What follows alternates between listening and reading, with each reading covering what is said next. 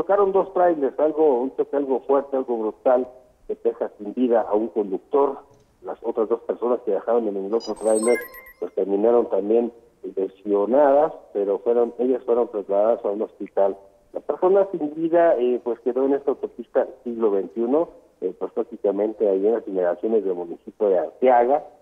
Hasta este lugar se tuvo que trasladar la fiscalía para hacer el levantamiento del cuerpo ante este fuerte choque que se daba en el kilómetro 213. Es una situación de nueva cuenta que hemos hablado del siglo XXI, vehículos eh, con exceso de velocidad, pero también con exceso de carga, y a la hora de colisionar, pues queda prácticamente prensado este chofer.